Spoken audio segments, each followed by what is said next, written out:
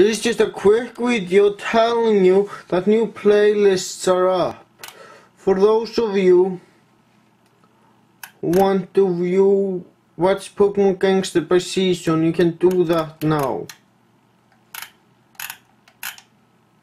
Though I will admit,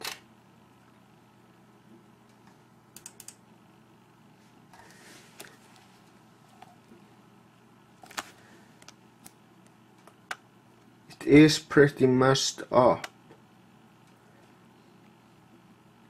I tried to rearrange them, but I can't rearrange more than three play, more than 12 playlists. And I want Places Movie Reviews, Places Pokemon Fanfic, and the original Pokemon Gangster playlist to be the top three playlists when you on my channel. So yeah, I made a new playlist. So if you wanna watch Pokemon Gangster by season, you can do that now.